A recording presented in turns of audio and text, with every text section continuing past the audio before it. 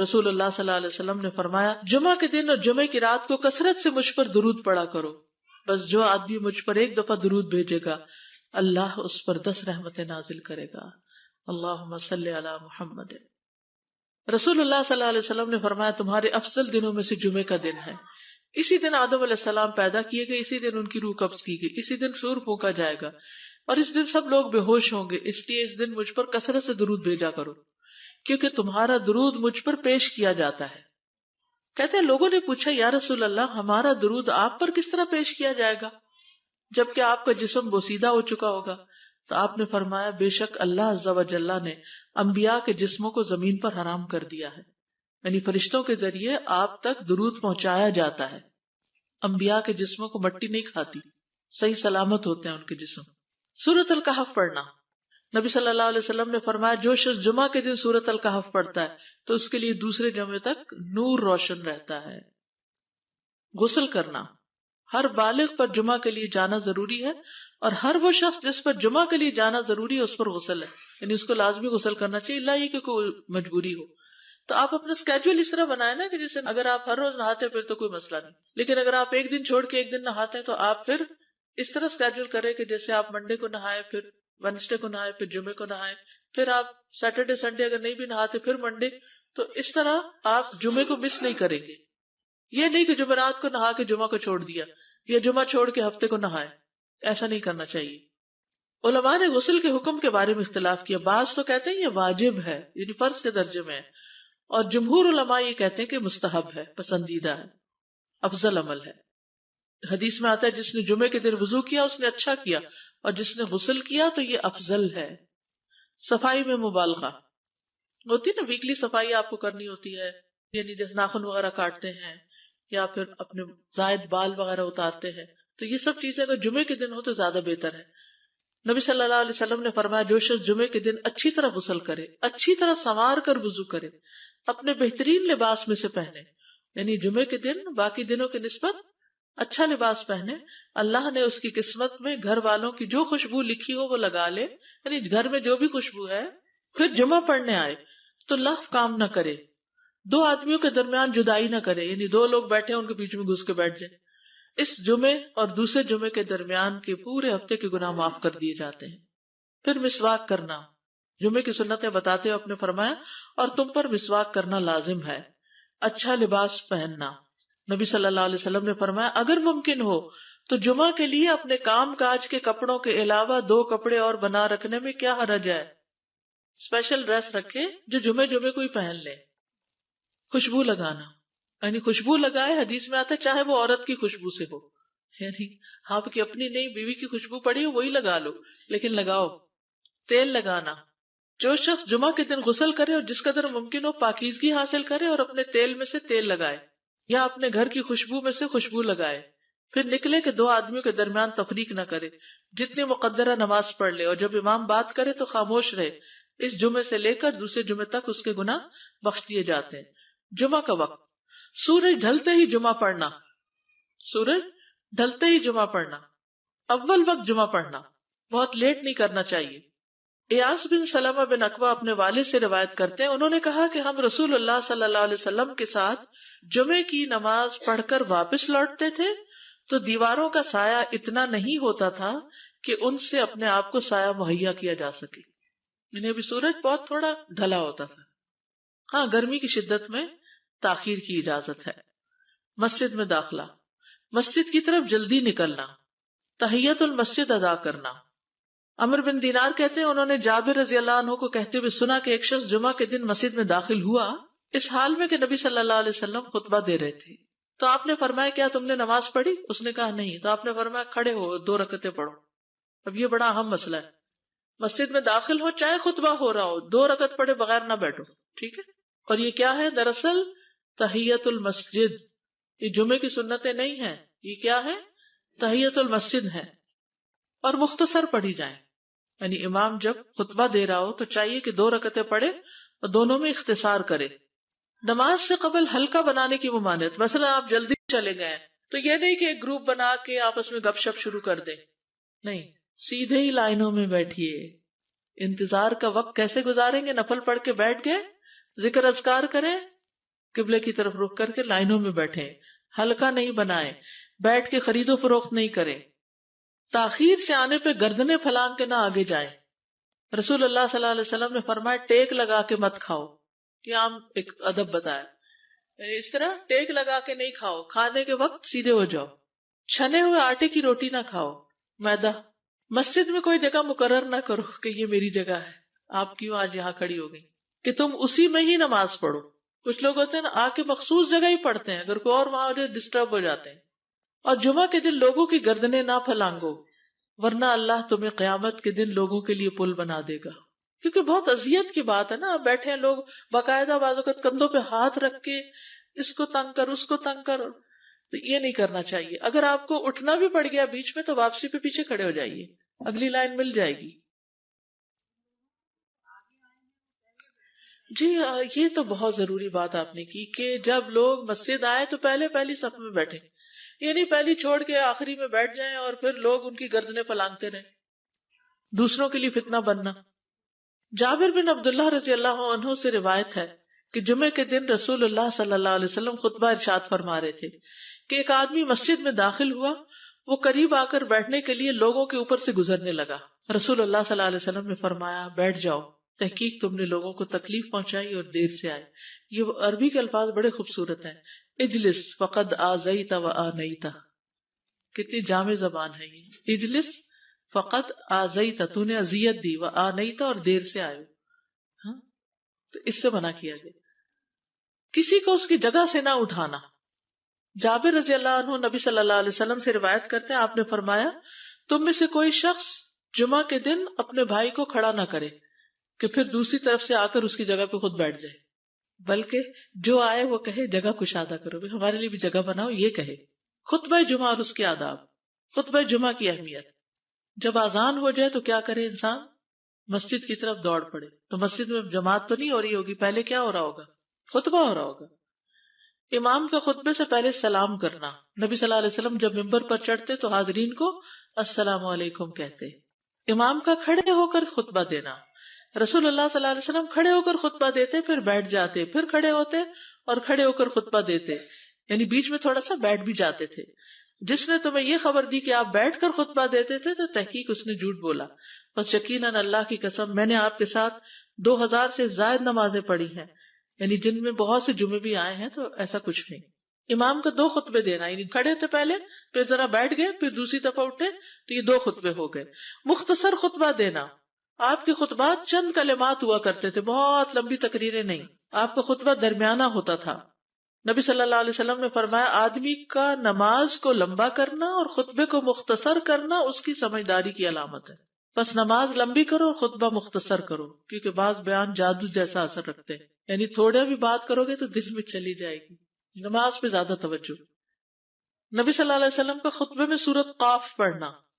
हारिसा बिन नौमान की बेटी से रिवायत है, कहती है कि मैंने सूरत काफ रसूल सल्लल्लाहु अलैहि वसल्लम से सुनकर हिफ्स कर ली। आप हर जुमे को खुतबे में पढ़ा करते थे। सामयीन का इमाम की तरफ़ रुख करना, यानी जुमे के दिन ये नहीं कि आप कुर्सी लगा के किसी और तरफ़ मुँह करके बैठ जाए और जब जमात हो तो फिर सफ में खड़े। नहीं, आप सफ में बैठे हो, किस तरफ़ मुँह हो? किबला रुख हो। इमाम सामने ही होगा ना किबले की तरफ़। एक साहबी कहते कि जब आप मिंबर पे चढ़ते तो हम अपने चेहरों के साथ आपकी तरफ़ मुतवजे होते इधर उधर नहीं देखते थे खुतबे के दौरान। इमाम के करीब बैठना। अल्लाह के नबी सल्लल्लाहु अलैहि वसल्लम ने फरमाया, ज़िक्र में हाजिर हुआ करो, यानी खुतबा में। और इमाम के करीब बैठा करो। बेशक आदमी दूर होता रहता है हत्या कि वो जन्नत में भी पीछे ही होगा, अगरचे वो इसमें दाखिल भी हो जाए। ताखीर की इतनी मजम्मत है। खामोशी से खुतबा सुनना। यानी बात नहीं करनी चाहिए। कोई अहम बात भी नहीं पूछनी चाहिए। इब्ने मसूद से रिवायत है कि उन्होंने उबई अपने काब से कुरान की किसी आयत के बारे में सवाल किया, जबकि अल्लाह के नबी खुतबा दे रहे थे। तो उन्होंने एराज किया और कोई जवाब न दिया। फिर जब आपने नमाज़ पढ़ाई तो उबई कहने लगे, तुम्हारा जुमा ही नहीं हुआ। तो इबन मसूद ने रसूल वसल्लम से पूछा तो आपने फरमाया उबई ने सच कहा। कोई बात करने की इजाज़त नहीं। ये कहने की भी कि चुप हो जाओ, ये भी इजाज़त नहीं। अब्दुल्ला बिन मसूद कहते कि जब इमाम जुमा के लिए आ गया, फिर तुम्हारा अपने साथी से ये कहना कि खामोश रहो, लगवियत के लिए काफ़ी है, ये भी लग बात है। कोई लघ हरकत ना करना कंकरियों से ना खेलना, फ़ोन से नहीं खेलना, मैसेजेस चेक नहीं करना, उंगलियों में उंगलियाँ डाल के पटाखे नहीं बजाना, गोट मार के नहीं बैठना। गोट मार के कैसे बैठते हैं?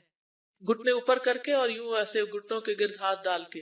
कई दफ़ा ऐसे नज़र आता है कि खुतबे में लोग इस तरह बैठे होते हैं, क्योंकि पता नहीं है। यानी आप चौकड़ी मार सकते हैं। आप, सबसे अफजल पोजीशन तो ये है कि जैसे नमाज़ के अत्ताहियात में हम बैठते हैं। लेकिन कुछ लोग उस तरह बैठ नहीं सकते चले कुर्सी में बैठ जाए अगर कुर्सी नहीं है, नीचे बैठे हैं तो चौकड़ी मार के बैठ जाए टांगे इस तरह पेट के साथ लगा के घुटनों पे हाथ को बल दे के इस तरह नहीं बैठे।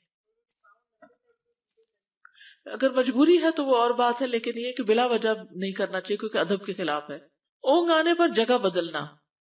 नबी सल्लल्लाहु अलैहि वसल्लम ने फरमाया, अगर जुमा के दिन किसी को मस्जिद में ऊँग आने लगे तो अपनी उस जगह को दूसरी जगह से बदल ले। कि बाजू कहता ऐसा होता है ना, खुतबे के वक्त बड़ी सकीनत होती है। और आखिरी खुतबा तो आप नींद में ही सुनते हैं। नमाज़ जुमा की रकात, दो रकत है फ़र्ज़ बस। जुमा की नमाज़ दो रकते हैं। और इन दोनों में किरात होती है। नबी सल्लल्लाहु अलैहि वसल्लम जुमे में सब इसम रब कलाला और हल अता का हदीसुल गाशिया पढ़ते।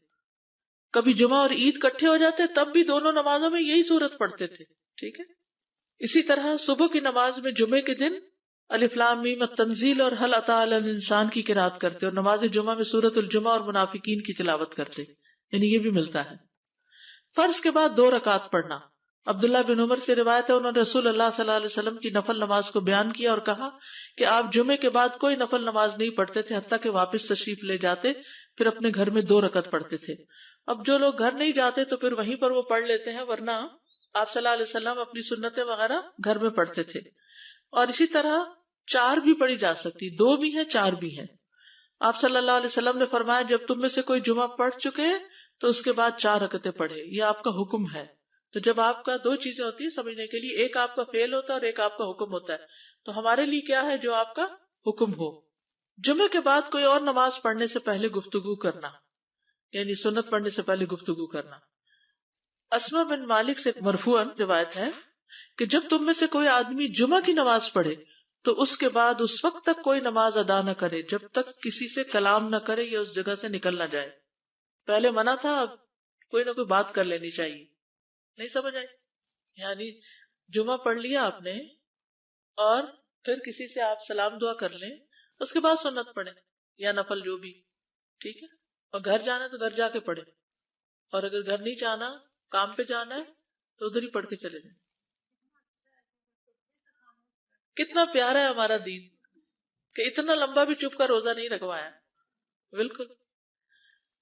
आसिम से रिवायत है, वो अबू किलाबा से नकल करते हैं। मैंने उनके साथ जुमा की नमाज़ पढ़ी, जब मैंने अपनी नमाज़ पूरी कर ली, उन्होंने मेरे हाथ को पकड़ा और मेरी जगह पर खड़े हुए और मुझे अपनी जगह पे खड़ा किया। वो जो हम चेंज करते हैं ना जगह, वो उसकी बात हो रही है। यानी जुमे के बाद कोई और नमाज़ पढ़ने से पहले बात भी कर लेना, जगह भी तब्दील करना। लेकिन अगर कुछ लोग पहले से ही आपके सुन्नतें शुरू कर चुके और कोई चेंज करने वाला नहीं तो फिर पढ़ लीजिए। यानी ये मुस्तहब अमाल है। इनमें ऐसा नहीं कि कोई गुनाह लाजिम हो जाएगा। लेकिन अफजल ये है।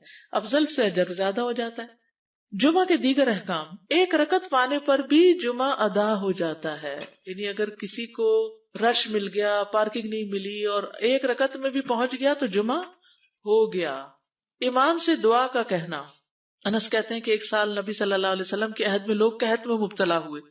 जुमा के दिन में नबी सल्लल्लाहु अलैहि वसल्लम के खुतबा पढ़ने के दौरान में एक आराबी खड़ा हो गया। कहा, या रसूलुल्लाह, माल तबाह हो गए, बच्चे भूखे मरने लगे। इसलिए आप अल्लाह से हमारे हक में दुआ कीजिए। आपने अपने दोनों हाथ उठाए। उस वक्त आसमान पर बादल का एक टुकड़ा भी नहीं था। कसम उस जात की जिसके हाथ में मेरी जान। आपने हाथ उठाए भी नहीं थे कि पहाड़ों की तरह बादल के बड़े बड़े टुकड़े उमड़ आए। ये मुआवजा है आपका। आपकी दुआ कबूल हो गई। फिर आप मिंबर से अभी उतरे नहीं थे कि मैंने आपकी दाढ़ी पर बारिश के कतरों को टपकते हुए देखा। इस दिन खूब बारिश हुई, फिर दूसरे दिन, तीसरे, चौथे हत्या के दूसरे जुमे तक सिलसिला जारी रहा। दूसरे जुमे वही आराबी या कोई और खड़ा हो गया और कहा यार रसूल अल्लाह छतें गिर गई, माल डूब गया। इसलिए आप हमारे लिए अल्लाह से दुआ कीजिए, चनाचे आपने अपने दोनों हाथ उठाए और फरमाया ए मेरे अल्लाह, हमारे इर्द गिर्द बरसा, हम पर ना बरसा। और बदली के जिस तरफ़ इशारा करते, वो बदली हटती जाती और मदीना एक हौज की तरह हो गया। वादी कनात एक महीने तक बहता रहा। जो शख्स भी किसी इलाके से आता तो उस पर बारिश का हाल बयान करता। जैसे होता है ना, कोई फ्लड आ जाइए कुछ हरे हरेकन तो फिर हर कोई मौजूद गुफ्तगु हो जाता है। जुमा के बाद कैलूला करना। अनस कहते हैं कि हम लोग जुमा के दिन सवेरे निकलते और जुमा की नमाज़ के बाद कैलूला करते थे। जुमा के बाद खाना खाते, खाना खाना। सहल कहते हैं कि हम ना तो कैलूला करते, ना दोपहर का खाना खाते, मगर जुमे के बाद। लंच कब है? जुमे के बाद। जुमे को क्याम श्याम के लिए खास करने की वो मान्यता है। इस दिन की रात को शब जुमा मनाना के इस रात पूरी इबादत करेंगे, ये सुन्नत से साबित नहीं। ठीक है? और दिन को रोज़े के लिए खास करना, ये भी सुन्नत से साबित नहीं। इला कि कोई मामूल का रोजा रखता है अयाम में बीस का रोजा है तो वो और बात है। अबू हुरैरा से रिवायत है कि मैंने रसूल वसल्लम को फरमाते हुए सुना, तुम में से कोई शख्स जुमा के दिन रोजा न रखे, मगर ये कि उसके एक दिन पहले या उसके बाद का दिन मिलाकर रोजा रखे। जुमा के दिन खरीदो फरोख्त की ममानियत है।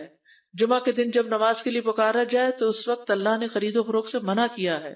वजरुल उस दिन कारोबार हराम है और ये जुमे की दूसरी अजान के साथ ताल्लुक रखता है।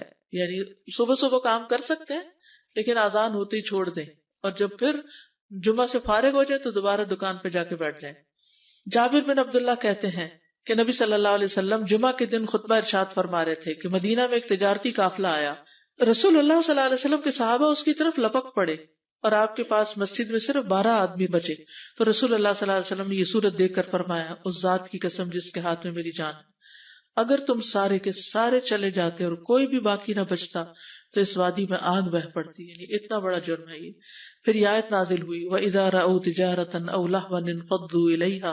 व तरकू का जब वो कोई सौदा बिकता देखे या कोई तमाशा नज़र आ जाए तो उसकी तरफ़ दौड़ जाते हैं और आपको खड़ा ही छोड़ देते हैं। रावी कहते हैं, जो बारह आदमी रसूल अल्लाह के साथ रहे, उनमें अबू बकर और उमर रज़ी अल्लाह भी शामिल थे। जुमे के दिन कबूलियत की घड़ी होती है। उस वक्त अल्लाह से भलाई मांगनी चाहिए। रसूलुल्लाह सल्लल्लाहु अलैहि वसल्लम ने फरमाया, जुमे के दिन में एक घड़ी ऐसी है कि कोई मुसलमान अल्लाह से किसी खैर का सवाल करते हुए उसकी मुआफकत नहीं करता, मगर अल्लाह उसे वही खैर अता कर देता है। फरमाया, ये एक छोटी सी घड़ी, थोड़ी देर के लिए होती है और ये हर जुमे को होती है। ठीक है? और खसूसन नमाज़ में भी अगर कोई दुआ कर रहा होता है ना इंसान तो वो भी कबूल हो जाती है। नमाज़ में दुआ कहाँ होती है? शुरू में होती है, रुकू में होती है, सजदे में होती है तशाउद में होती है। तो अगर यानी जुमा पढ़ रहे हैं और बीच में दुआएँ आ गई हैं तो हो सकता वही घड़ी आ गई हो और आपकी दुआ कबूल हो जाए। और ये तौरात में भी इसका ज़िक्र था।